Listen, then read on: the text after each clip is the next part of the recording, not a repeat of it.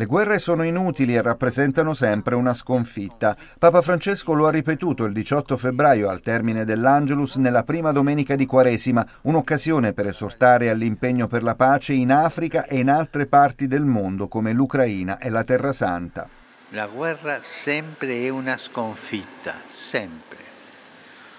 Ovunque si combatte le popolazioni sono sfinite, sono stanche della guerra, che come sempre è inutile è inconcludente e porterà solo morte, solo distruzione e non porterà mai la soluzione del problema.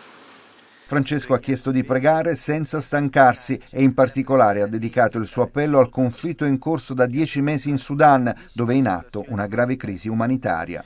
Chiedo di nuovo alle parti belligeranti di fermare questa guerra che fa tanto male alla gente e al futuro del Paese Preghiamo perché si trovino presto vie di pace per costruire l'avvenire del caro Sudan. E c'è anche la situazione nel nord del Mozambico a preoccupare fortemente Papa Francesco. La violenza contro popolazioni inermi, la distruzione di infrastrutture, l'insicurezza dilagano nuovamente nella provincia di Cabo Delgado in Mozambico, dove nei giorni scorsi è stata anche incendiata la missione cattolica di Nostra Signora dell'Africa a Massese. Preghiamo perché la pace torni in quella regione martoriata. Le tentazioni di Gesù nel deserto sono state al centro delle parole del Papa all'Angelus del 18 febbraio, prima domenica di Quaresima, una meditazione dedicata ai consigli per vivere appieno questo percorso che richiede di entrare appunto nel deserto, cioè nel mondo interiore, nel silenzio e nella preghiera. In questa dimensione, ha avvertito Francesco, ci sono molte bestie selvatiche da affrontare.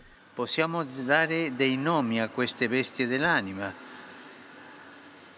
i vari vizi, la bramosia della ricchezza che imprigiona nel calcolo e nella insoddisfazione, la vanità del piacere che condanna all'inquietudine e alla solitudine e ancora anche l'avidità della fama che genera insicurezza e un continuo bisogno di conforme e di protagonismo. Queste, ha sottolineato il Papa, sono situazioni con le quali bisogna necessariamente fare i conti. Vanno amansite e combattute, altrimenti ci divorano la libertà. E la Quaresima ci aiuta a entrare nel deserto interiore per correggere queste cose. La Quaresima però ci mette di fronte anche gli angeli.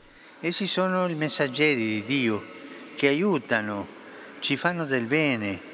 Infatti la loro caratteristica, secondo il Vangelo, è il servizio, esattamente al contrario del possesso, tipico delle passioni. Servizio contro possesso. Gli spiriti angelici aiutano perché, ha spiegato Francesco, richiamano i pensieri e i sentimenti buoni suggeriti dallo Spirito Santo. Mentre le tentazioni ci dilaniano le buone ispirazioni divine ci unificano e ci fanno entrare nella armonia. Acquietano il cuore, infondono il gusto di Cristo, infondono il sapore del cielo.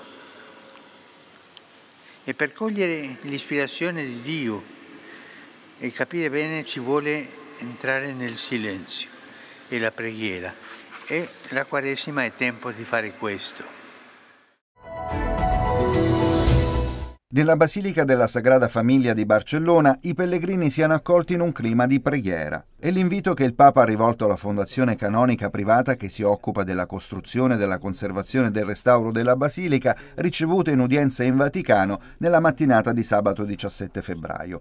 Nel suo discorso, pronunciato in spagnolo, il Papa ha ricordato che in questo anno la preghiera deve essere un momento di preparazione in vista del Giubileo del 2025. È importante, ha detto, che questo clima non si perda nei luoghi di culto. In particolare, ha aggiunto, bisogna accogliere i fedeli con un atteggiamento orante, in modo che siano aiutati a contemplare il progetto della basilica stessa, la quale è strutturata in modo che ogni portico abbia un tema illustrato da passi della scrittura e incorniciato da una preghiera. Giovedì 15 febbraio il Papa ha ricevuto in udienza l'associazione francese Diaconia della Bellezza e nel suo discorso ha sottolineato l'importanza degli artisti in questa nostra epoca, esortandoli ad essere cantori dell'armonia tra i popoli, le culture e le religioni.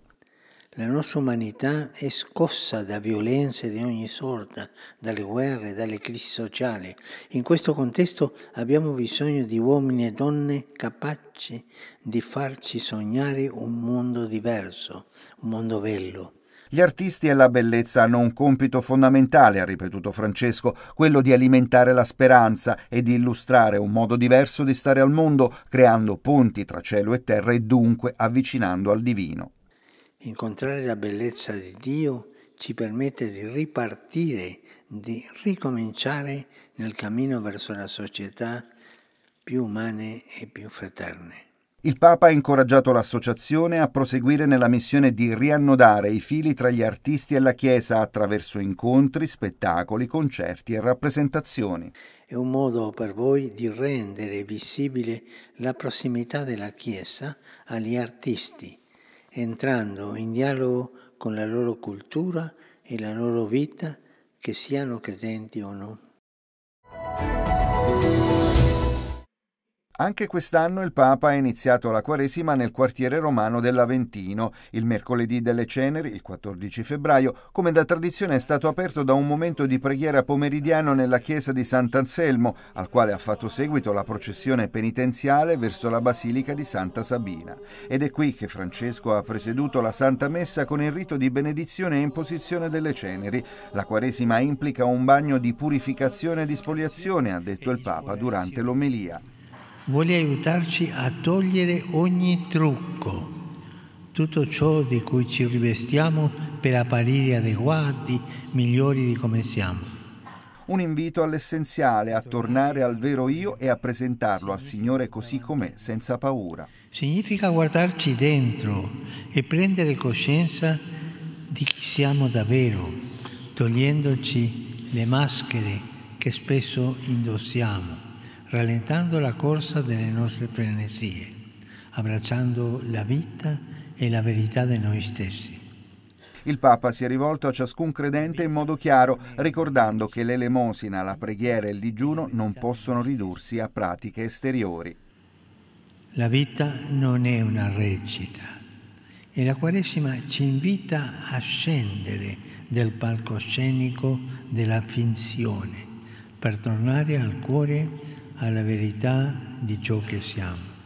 Andare al cuore significa praticare una dimensione segreta e di silenzio, mentre oggi, ha osservato Francesco, la vita si svolge soprattutto in superficie, nel bisogno di essere notati, ammirati e apprezzati. Senza accorgercene, ci ritroviamo a non avere più un luogo segreto in cui fermarci e custodire noi stessi immersi in un mondo in cui tutto, anche le emozioni e i sentimenti più intimi, deve diventare social. Ma come può essere sociale ciò che non sgorga dal cuore? Camuffati con la maschera delle apparenze, corriamo il rischio di restare vuoti e aridi. Ecco perché la Quaresima rappresenta un'occasione propizia per cambiare passo. In queste settimane di Quaresima Diamo spazio alla preghiera di adorazione silenziosa, nella quale rimanere in ascolto alla presenza del Signore